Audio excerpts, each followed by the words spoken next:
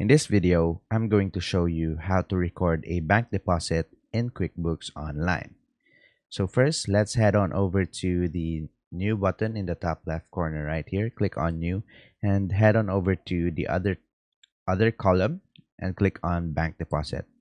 So it will take us to this familiar interface. So now we will be choosing the account um, that uh, will be deposited from or deposited to and then we will choose where we received this deposit from. So as an example I'll be choosing this and then and the account that uh, will be uh, deposited from would be as an example um, let's just choose purchases and then the payment method you can choose what payment method that uh, is applicable to your deposit. I'll just put in cash and the amount that is uh, deposited. So I'll put in uh, 50 and after that you can check um, your information if it's uh, correct. And after that just click on save and new.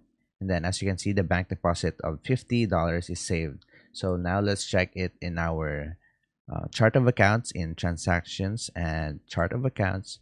And as you can see uh, the bank deposit has been recorded before it was 25 now we added 50 so it's 75 and that's about it. That's how to record a bank deposit in quickbooks online. If you have any questions please let me know down in the comments and i'll do my best to help you out